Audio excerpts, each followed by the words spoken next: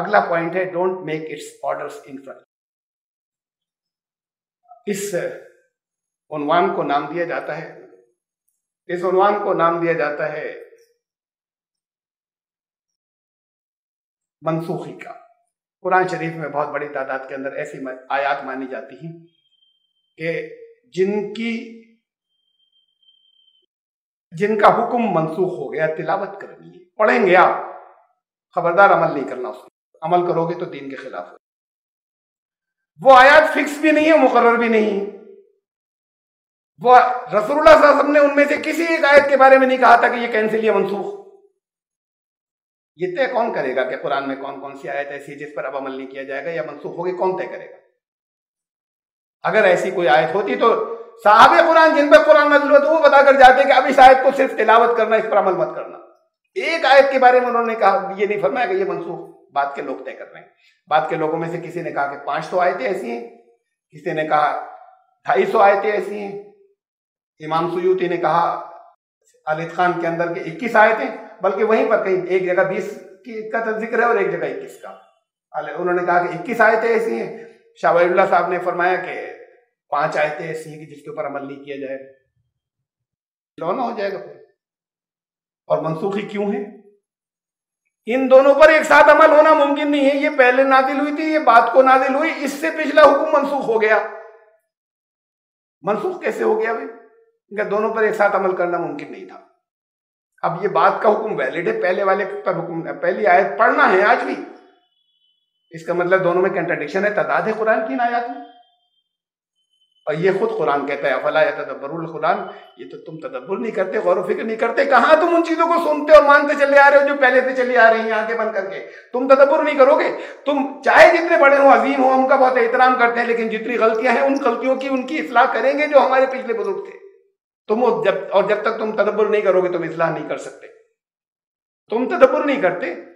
بلو کانا میں گندی خیر اللہ فی اختلاف کثیرہ اگر اس کے اندر تمہیں کنٹرڈکشن ملتے بہت۔ اگر یہ اللہ کی طرف سے نہیں ہوتا تو قرآن تو اس قرآن کے اللہ کا کلام ہونے کی ایک دلیل یہ دے رہا ہے۔ ایک قرآن کا آرگومنٹ کہ اس کے اندر تمہیں کنٹرڈکشن نہیں ملیں گے، دو آیات ٹکراتی ہوئی نہیں ملیں گی۔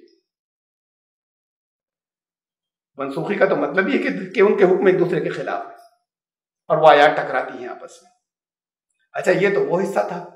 یہ بہت ہیں۔ اب ایک لمبا موضوع ہے، میں اس اور میں نے بہت سے موقعوں پہ الگ سے اس موضوع کے اوپر تفصیل سے بیان کیا ہے یا تقریر کی ہے۔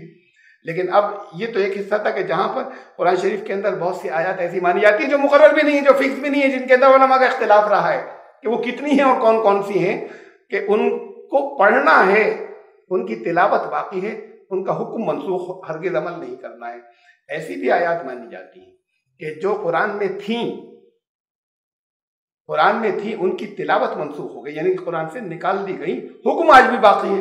یہ اس سے بھی عجیب بات ہے کہ تلاوت منسوخ ہو گئی، یا یہ پہلا حصہ تو ہوتا ہے کہ تلاوت باقی ہے، پڑھنا ہے اور عمل نہیں کرنا ہے۔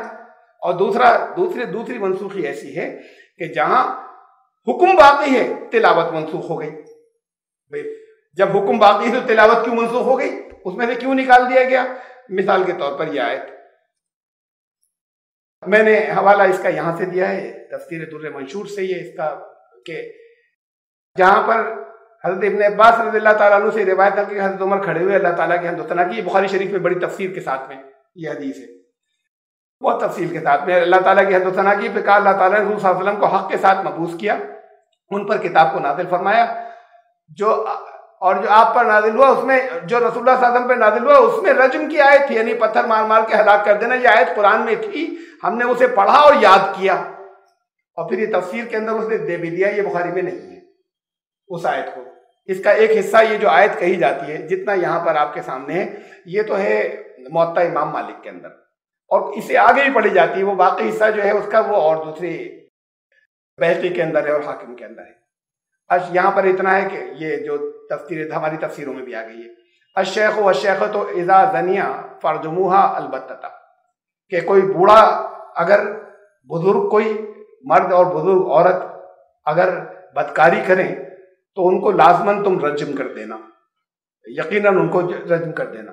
اور پھر رسول اللہ صلی اللہ علیہ وسلم نے جی، حضرت عمر نے فرمایا کہ رسول اللہ صلی اللہ علیہ وسلم نے رجم کیا اور ہم نے بعد میں رجم کیا اور مجھے ڈر ہے کہ لوگوں پر ایک زمانہ لمبا ہوگا تو کوئی کہنے والا یہ کہے گا کہ ہم کتاب اللہ میں تو رجمی والی آیت نہیں پاتے۔ اللہ تعالیٰ کے نازل کردہ فریدے کو اس طریقے سے ترک کر کے کرنے کی وجہ سے لوگ گمراہ ہو جائیں گے۔ یعنی حضرت عمر رضی اللہ عنہ یہ فرمانا ہے کہ ہم پڑھتے تھے اس آیت کو قرآن کے اندر۔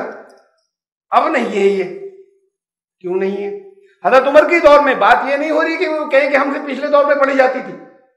حضرت عمر حیات ہیں جس وقت وہ کہہ رہے ہیں ہم پڑھتے تھے قرآن میں تھی اور اب نہیں ہے۔ حضرت عمر امیر المومنین رہے قرآن کا وہ نسخہ جس کے جس کو جس کی کتابت رسول اللہ صلی اللہ علیہ وسلم نے کروائی تھی۔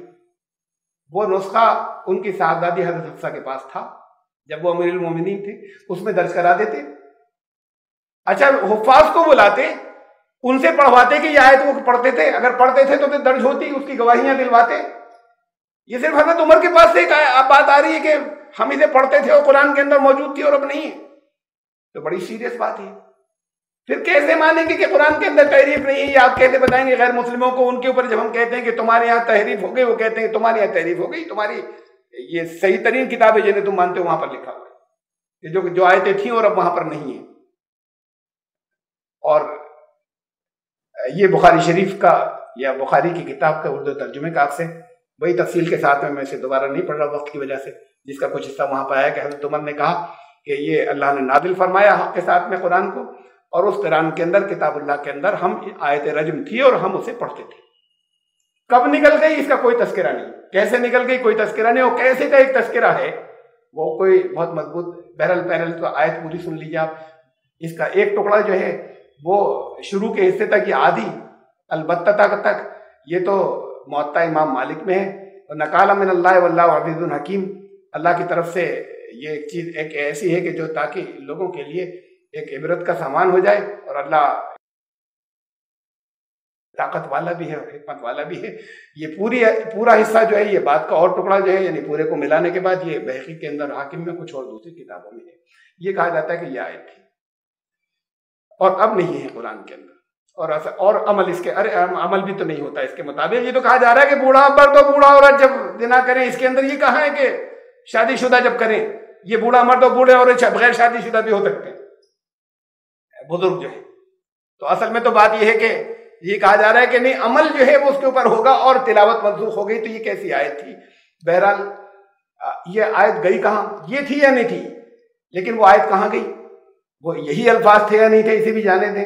اس کے بارے میں بھی ایک روایت ہمیں ملتی ہے۔ وہ روایت ابن ماجہ میں ہے۔ حضرت عائشہ فرماتی ہیں کہ یہ دو آیتیں میرے پاس لکھی ہوئی تھی اب یہ دو انہیں کے پاس تھی بس کہیں نہیں تھی ابھی کہیں نہیں تھی حافظ پڑھ رہے تھے، نہیں پڑھ رہے تھے۔ تو قرآن کی حفاظت اور سیکیورٹی کہاں ہے اگر نہیں پڑھ رہے تھے تو؟ یا اگر پڑھ رہے تھے تو اب کیوں نہیں پڑھ رہے؟ حضرت عائشہ کہنی کہ یہ دو لکھی ہوئی میرے پاس تھی۔ لکھی ہوئی ان کے پاس تھی اور حافظوں حفاظ کچھ اور پڑھ رہے تھے یا ان کو چھوڑ کر پڑھ رہے تھے۔ اس میں سے ایک آیت الرجم تھی اور ایک رضاوت القبیر۔ کہ اگر کوئی بڑی عورت دس مرتبہ اپنا دودھ کسی کو پلا دے تو پھر وہ اس کے لیے محرم ہو جاتی ہے۔ اب یہ مسلم کے اندر اس کے اوپر حدیث حدیثیں ہیں اس کے اندر، مسلم شریف کے اندر۔ کہ یہ تھی۔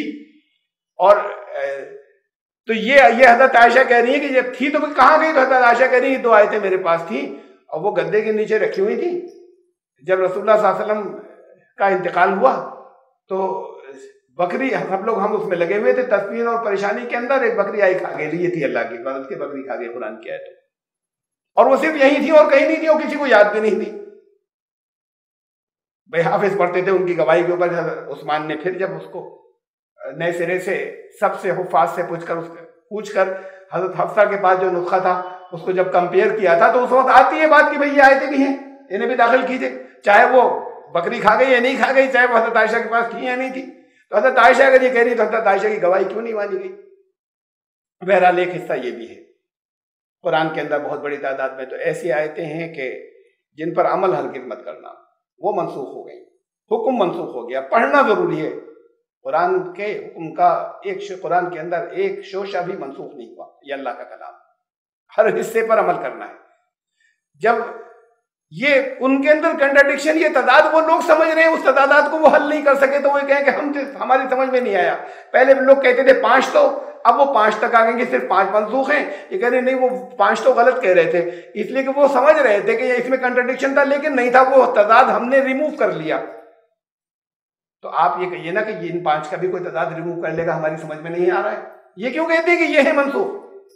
ایک شوشہ بھی منسوخ نہیں ہے اللہ کے کلام میں، اور پھر ایسی منسوخی کہ حکم باقی ہو، تلاوت منسوخ، تو یہ سارا شر ہے۔